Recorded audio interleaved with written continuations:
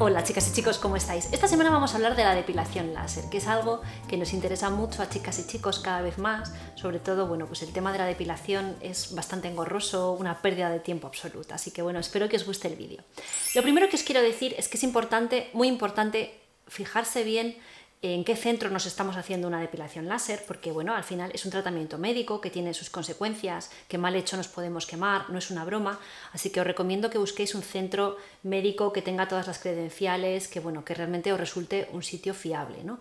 También informaros de qué láser tienen, si, qué tipo de láser es, porque claro, hay diferentes tipos de láseres que ahora os voy a mencionar, y no todos funcionan igual para los diferentes tipos de pelos, sobre todo piel también, si tenéis una piel morena es más complicado encontrar un láser, bueno, los hay, pero no todos funcionan igual, entonces es una manera de evitar el fracaso. Después es muy importante que antes de empezar el tratamiento, que os enseñen un consentimiento informado, es decir, que vosotros podáis leer pues cuáles son las contraindicaciones, es decir, pues con este láser no puedes tomar el sol un mes después de habértelo hecho, o sí, o lo que sea, pero que vosotros tengáis un consentimiento informado que normalmente os harán firmar.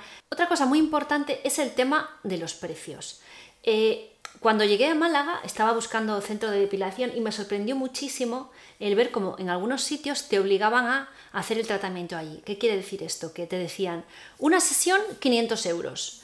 Eh, infinitas sesiones, o bueno, las que en teoría vas a necesitar, ¿no? Supongo que son 6, 7, depende del tipo de láser, o 10.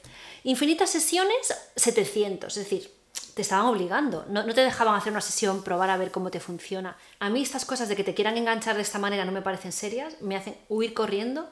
Pienso que si tú vas allí, te gusta cómo te hacen el tratamiento, es una cosa seria, estás contenta, vas a volver, vas a volver. Notas que el cabello se reduce, no vas a ir a otro sitio, no tiene sentido. Entonces, bueno, además que cabe la posibilidad de que el centro cierre mañana y pierdas tus 800 euros. O sea, yo para eso soy muy, soy muy clásica en esto.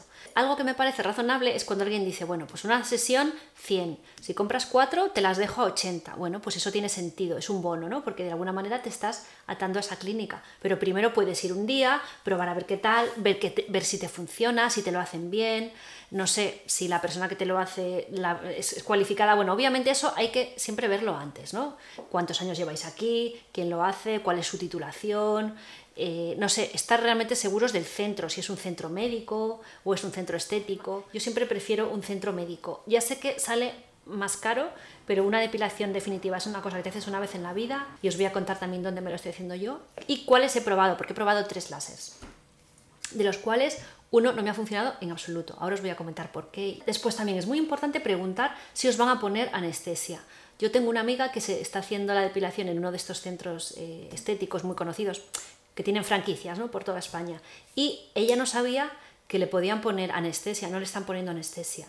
Y, es el láser alejandrita, que es de los más dolorosos. O sea, yo nunca he probado el alejandrita, he probado otros, pero siempre me han dolido, siempre, excepto el neodimio yang, que no me ha dolido nada, pero no me ha resultado nada efectivo, ¿vale?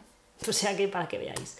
Y, siempre me han dolido y siempre me han puesto eh, anestesia. Las anestesias son pomadas normalmente de lidocaína, que son bastante, es bastante cara, es muy cara la anestesia, entonces normalmente no te la quieren poner. En algunos sitios te dicen que te la pongas tú, media hora antes en tu casa. Entonces, bueno, si el sitio es más económico, eh, pero bueno, yo prefiero estar allí, es una pomada que te puede dar una reacción. Yo prefiero estar en un centro médico donde me la aplique alguien eh, experto, que el médico esté allí. Después, en cuanto a precios, desconfiad también si es demasiado barato. Preguntad qué máquina es, qué modelo es, preguntad si la máquina está yendo y viniendo de un centro a otro, porque a veces eso también puede dar problemas en la máquina. Es mejor que la máquina esté en el mismo sitio, que no la estén trasladando. Y bueno, un poco al final, cuando el precio es demasiado barato, también en estas cosas desconfiado un poco, ¿no? Eh, siempre puede ser un poco más más mm, puede tener un poco más de riesgo, ¿no? Entonces, bueno. Después, en cuanto al láser que estoy utilizando ahora, yo me lo estoy haciendo en la clínica del Monova en Málaga. Estoy encantada con la doctora Nieves, me lo hace de maravilla, me ponen anestesia, eh, bueno, realmente, además es súper efectivo. Yo estoy utilizando el de diodo Light Shear. Ahí está el de diodo SHR, me parece que se llama. después está el Light Shear, que es el que yo me estoy haciendo, que tiene un efecto increíble. En una sola sesión mi reducción del vello es del 50%. Realmente aquí pues yo pago cada sesión y entonces creo que a partir de la sexta es gratis, no, no, tienes que pagar nada. Pero realmente con una sesión ya he notado muchísima reducción de vello. Ahora tengo que hacerme la siguiente. Es importante hacerlo antes del verano, aunque este se puede hacer incluso con piel un poquito bronceada y admite varios, varios tamaños de vello. Obviamente cuanto más oscuro y más grueso mejor, pero funciona muy bien. Yo no lo tengo muy oscuro, tengo un vello intermedio. Y, y realmente es una maravilla. Es que mi objetivo es ya este verano estar libre de ningún tipo de, de vello. Después probé el otro, el, me parece que es SHR, bueno, os lo pondré en la cajita de información porque ahora no me acuerdo exactamente. Y también me fue bien, pero no noté tanta reducción de vello. Me hice tres sesiones en Galicia, no noté tanta. Y sobre todo, em, que es muy engorroso hacerlo porque tienes que estar esperando porque tienen que hacerte varias pasadas.